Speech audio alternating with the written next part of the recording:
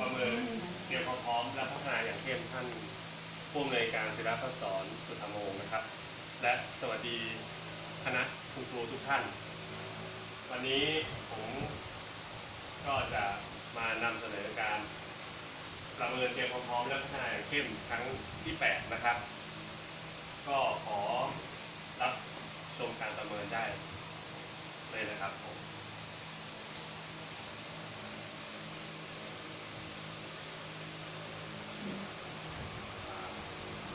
แนะแนะนำตัวประวัติข้อมูลเบื้องต้นนะครับ ผมนายสิริเทพจำเริญตำแหน่งครูผู้ช่วยโรงเรียนบ้านโนนสุขนะครับ เริ่มบรรจุในวันที่ 14 กันยายน พศ 2560 ครับ ประวัติการศึกษานะครับ ในระดับชั้นมัธยมศึกษาปีที่ 6 นะครับ โรงเรียนนารีวิทูลอำเภอเมืองจังหวัดอุบลราชธานี สำเร็จการศึกษาระดับปริญญาตรี คณะครุศาสตร์ สาขาวิชาพระศึกษา มหาวิทยาลัยราชภัฏอุบลราชธานีครับก็ตามตามมาตรฐานอ่าหน้าที่งานพิเศษที่ได้รับมอบหมายนะครับ ที่โรงเรียนนะครับ ปฏิบัติงานพิเศษฝ่ายอ่าวันนี้ขออภัยด้วยนะครับ เวรวันจันทร์ครับอ่าปฏิบัติการสอนนะครับ สอนรายวิชาส่วนศึกษาชั้นประถมศึกษาปีที่1ถึง3สอนรายวิชาสุขศึกษาชั้นประถมศึกษาปีที่4ถึง6สอนรายวิชาพระศึกษาชั้นประถมศึกษาปีที่4ถึง6แล้วก็สอนวิชาสุขศึกษาชั้นมัธยมศึกษาปีที่1ถึง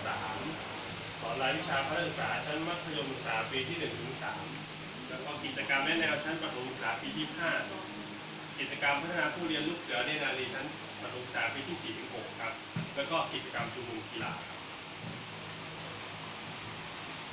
ในส่วนของด้านองค์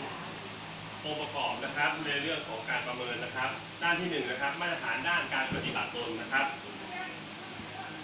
ข้อหัวข้อที่หนึ่งนะครับ วินัยคุณธรรมจริยธรรมสำหรับข้าราชการครูนะครับกับผมนะครับก็ได้ ปฏิบัตินะครับยึดมั่นและปฏิบัติตนให้เป็นอยู่ในระเบียบที่ดีของข้าราชการอย่างเคร่งครัดเสมอต้นเสมอปลาย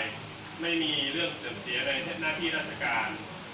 หรือถูกสอบสวนลงโทษทางวินัยแต่อย่างใดนะครับ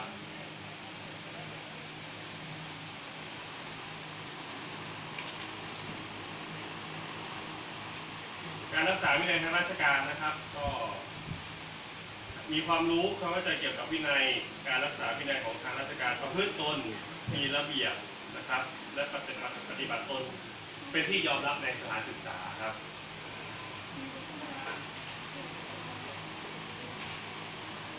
คุณธรรมจริยธรรม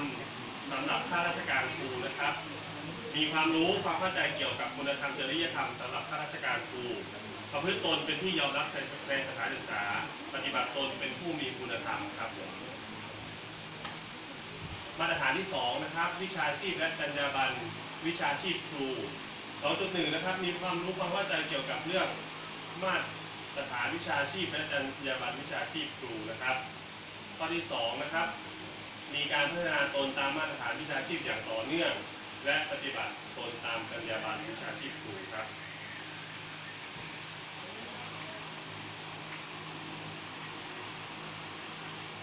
ข้อที่สามนะครับเรียนคติต่อวิชาชีพครูครับ 3.1 ครับ คุณค่าความสำคัญของวิชาชีพครูนะครับ ตัวผมได้ มีความรู้ความเข้าใจเกี่ยวกับคุณค่าและความสำคัญของวิชาชีพครู ปฏิบัติหน้าที่ครูด้วยความเต็มใจครับ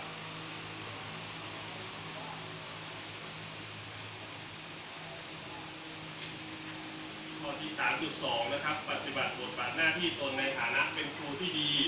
นะครับประพฤติตนตามบทบาทหน้าที่ของครูที่ดี และข้อที่ 3.3 มีความรักและศรัทธาในวิชาชีพครู มีการวางแผนเพื่อพัฒนาความก้าวหน้าของตนเองได้ เช่นการอบรมเพื่อพัฒนาตนเองอย่างสม่ำเสมอครับ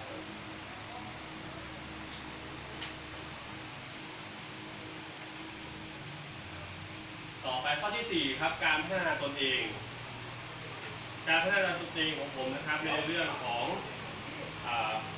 แสวงหาความรู้นำความรู้มาใช้อย่างสม่ำเสมอ มีความมุ่งมั่นในการปฏิบัติงานให้สำเร็จเป็นที่ยอมรับ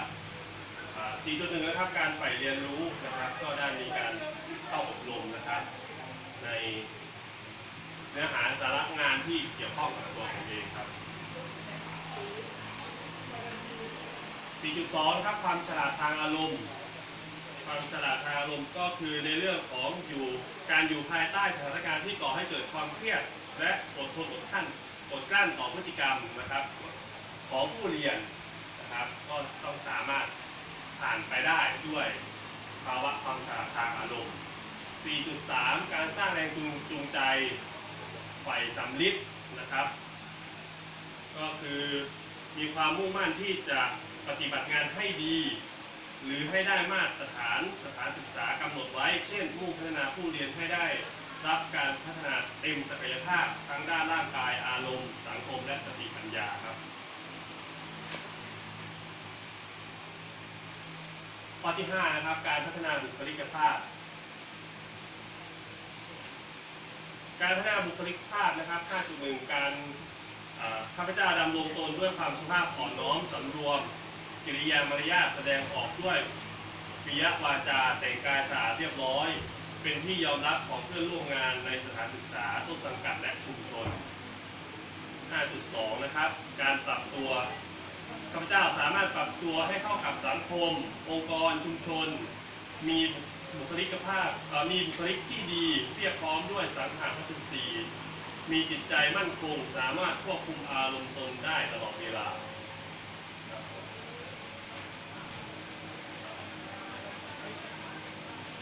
ข้อที่ 6 นะครับ การดำรงชีวิตที่เหมาะสม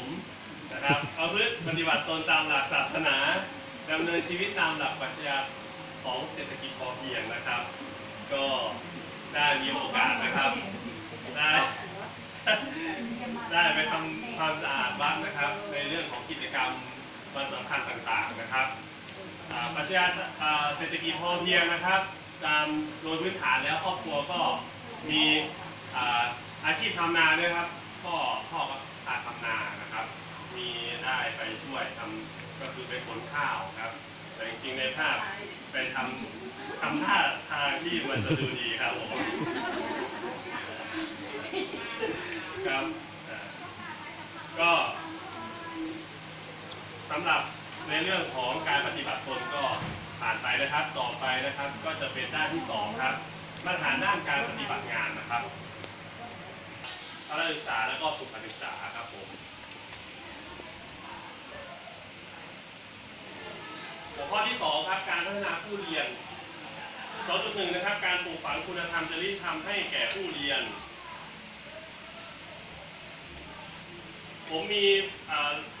ข้าพเจ้ามีคุณลักษณะและพฤติกรรมด้านคุณธรรมจริยธรรมเป็นแบบอย่างที่ดีตระหนักถึงความสำคัญ และการปลูกฝังคุณธรรมจริยธรรมให้แก่ผู้เรียนนะครับ ตลอดจนนำศึกษาแหล่งเรียนรู้ทางศาสนาขนบธรรมเนียมประเพณีท้องถิ่นและนำเด็กเข้าร่วมกิจกรรมทำบุญชุมชนกับชุมชนและวัดอยู่เสมอครับ 2.3 นะครับ การพัฒนาทักษะชีวิตสุขภาพกายและสุขภาพจิตของผู้เรียนนะครับฝึกการเข้าแถวเคารพธงชาติเมื่อมาโรงเรียนนะครับฝึกให้เด็กล้างมือให้ถูกต้องก่อน และหลังรับทานอาหาร ฝึกให้เด็กรู้จักเก็บขยะของใช้ส่วนตัวให้เรียบร้อยนะครับ ฝึกให้เด็กรู้จักใช้คำว่าสวัสดีขอบคุณและขอโทษครับผม